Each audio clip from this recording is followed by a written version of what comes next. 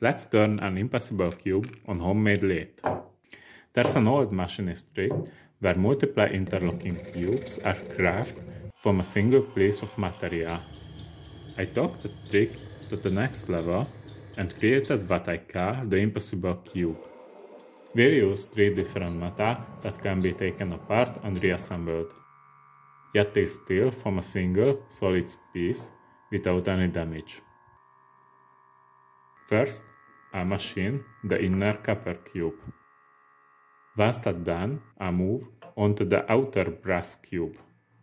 My heart broke seeing 70% of the material torn into chips.